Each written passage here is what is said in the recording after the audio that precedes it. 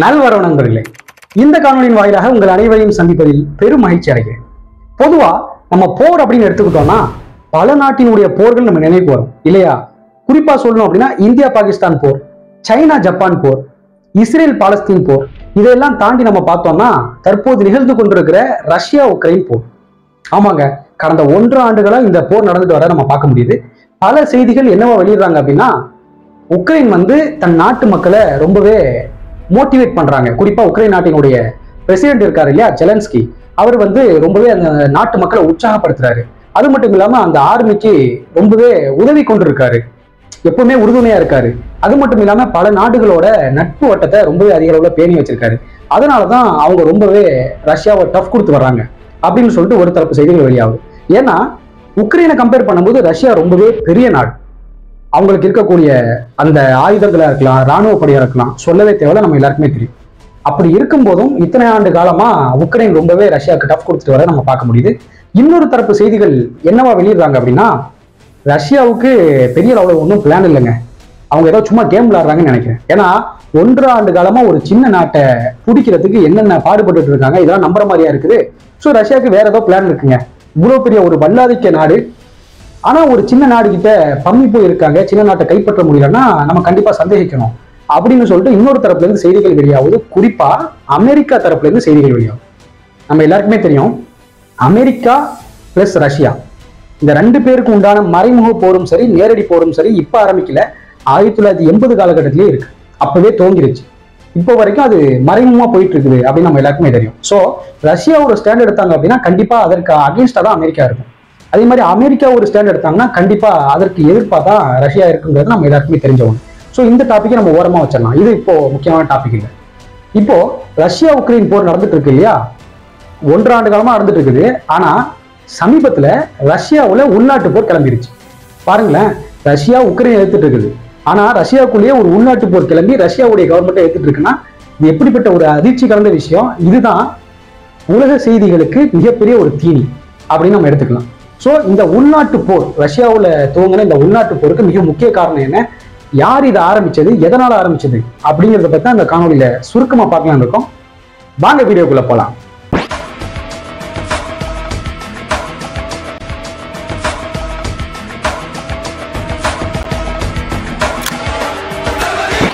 நல்வரவு நண்பர்களே நல்வரவு நண்பர்களே நல்வரவு நண்பர்களே நல்வரவு நண்பர்களே நல்வரவு நண்பர்களே.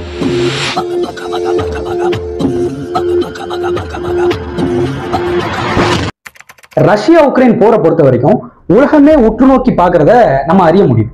அப்படி இருக்கும்போது ரஷ்யாவுக்குள்ளேயே ஒரு உள்நாட்டு போர் கிளம்பி இருக்குது அப்படின்னா எவ்வளவு அதிர்ச்சி கலந்த ஒரு விஷயமா இருக்கணும். நமக்கே எப்படி இருக்குன்னா அந்த நாட்டு மக்களுக்கு எப்படிப்பட்ட ஒரு அதிர்ச்சியான விஷயமா இருக்கும் அப்படிங்கிறத நீங்க எண்ணி பார்க்கலாம் ஏன்னா இத்தனை வருட காலங்கள்ல இல்ல சமீபத்துல தான் இது ஆரம்பிச்சிருக்கு. இதற்கு மிக முக்கிய காரணம் என்ன அப்படின்னு நம்ம பார்த்தோம்னா ரஷ்யாவுல குறிப்பா ரஷ்ய கவர்மெண்ட் இருக்காங்க இல்லையா?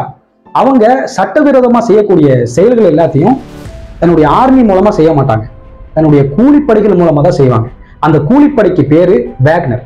அந்த வேக்னர் அப்படிங்கிற கூலிப்படை உக்ரைன்ல மிகப்பெரிய அளவுல போர் செஞ்சுட்டு இருந்துச்சு. இதற்கு மிக முக்கிய காரணமே ரஷ்யா கவர்மெண்ட் தான். ஏன்னா அவங்க தான் அந்த படையை உக்ரைனுக்கு அனுப்பி வச்சாங்க.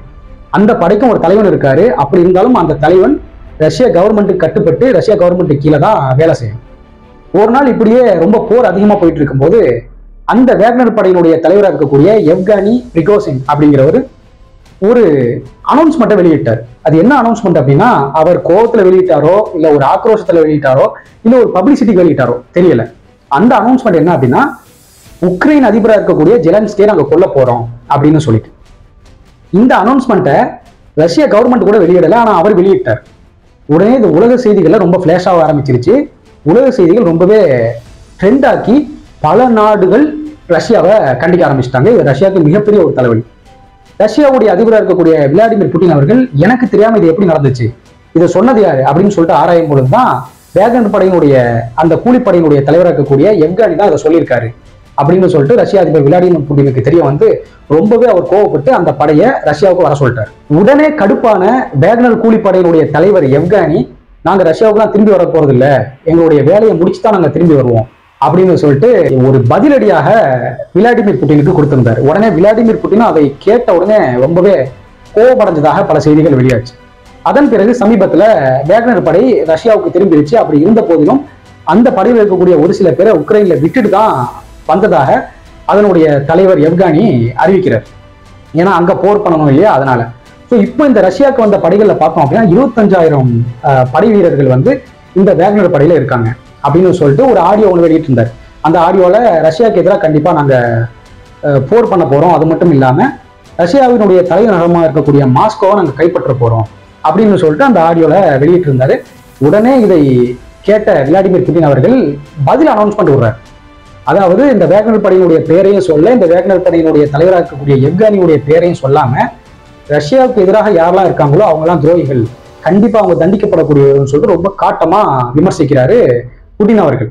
உடனே இந்த செய்தியை கேட்ட வேக்னர் படையினுடைய தலைவராக இருக்கக்கூடிய அப்கானி உடனே ரஷ்யாவில் இருக்கக்கூடிய ரோட்டோ அப்படிங்கிற சிட்டிக்கு விரைந்து போறாரு. அங்க தன்னுடைய ராணுவ வீரர்களை பரப்புறாரு. அதாவது தன்னுடைய கூலிப்படை வீரர்களை பரப்புறாரு. ஏன்னா அங்கதான் தஞ்சமடைய சொல்றாரு. அங்கேருந்து தான் நம்ம ரஷ்யா கவர்மெண்ட்டுக்கு எதிராக போர் செய்ய போறோம் அப்படின்னு சொல்லிட்டு ஒரு பலத்த அனௌன்ஸ்மெண்ட்டை வெளியிடுறாரு. இது ரொம்பவே வேர்ல்டு ஃபுல்லா ஃபிளாஷ் ஆகுது அப்படின்னு சொல்லலாம். ஸோ அதன் பிறகு காலப்போக்கில் இந்த பிரச்சனை இப்போ நடந்தது தான் சமீபத்தில் இது. ஸோ அப்படியே போக போக போக எல்லாரும் பேச்சுவார்த்தைக்கு வராங்க. நிறைய பேர் அதிகாரிகள் பழக்கமானவங்களா இருப்பாங்க.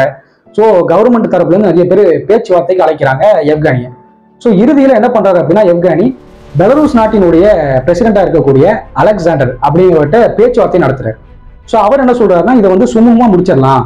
உள்நாட்டு போரை நம்ம வளர்க்கக்கூடாது. இது வந்து எதிரிகளுக்கு தான் லாபமா முடியும் அப்படின்னு சொல்லிட்டு அவர் ஒரு நல்ல விதமா கருத்து தெரிவிக்கும் இவர் அதை ஏற்றுக்கிட்டு சரி நாங்கள் பேச்சுவார்த்தைக்கு வர்றோம்.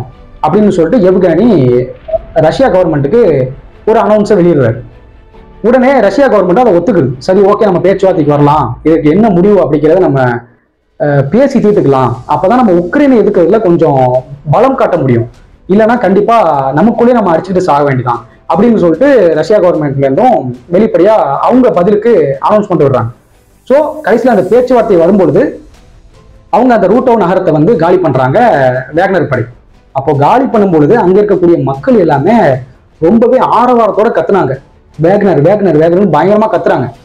எதனால கத்துறாங்கன்னு யாருக்குமே புரியல. இந்த நியூஸ் எப்படி வெளியிடுறாங்கன்னா வேக்னர் படை அவங்களுக்கு உதவியாக இருந்துச்சு அப்படின்னு சொல்லிட்டு ஒரு தரப்பு செய்திகள் வெளியாகும் இன்னொரு தரப்பு செய்திகள் என்ன வெளியாகும்னா இந்த வேக்னர் படை தான் உக்ரைன் போர்ல ரொம்ப தீவிரமா செயலாட்டினாங்க அதனால வந்து மக்கள் வந்து கரகோஷமா அவங்க காலி பண்ணி போகும்போது கத்துறாங்க அப்படின்னு சொல்லிட்டு செய்திகள் வெளியிடுறாங்க.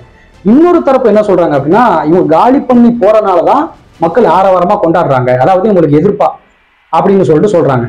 ஸோ இது மூலமா அந்த நாட்டினுடைய பல விமர்சகர்கள் என்ன சொல்றாங்க அப்படின்னா உள்நாட்டு போர் அப்படிங்கிறது ரொம்ப மோசமானது.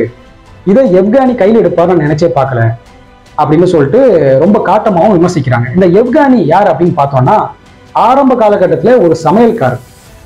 அந்த சமையல்காரரு படிப்படியா வந்து வந்து வந்து வந்து வந்து ஒரு கூலிப்படையில சேர்ந்து அதன் பிறகு தலைவரானார்.